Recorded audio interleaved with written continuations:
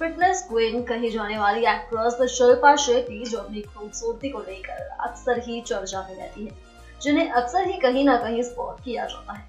अपने पति राज कुंद्रा से बेहद प्यार करने वाली शिल्पा जन्माष्टमी के खास अवसर पर पति राज से दूर हो गई है। साथ ही उनकी माँ भी उनसे अलग हो चुकी है।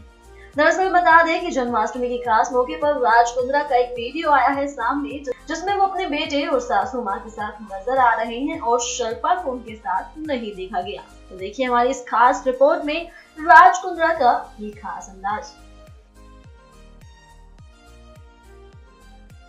नेक्स्ट नाइन न्यूज़ रूम से चित्रा की रिपोर्ट अगर आप भी बनना चाहते हैं एंकर और रिपोर्टर वीडियो एडिटर कैमरामैन या फिर स्क्रिप्ट राइटर तो हमें संपर्क करें।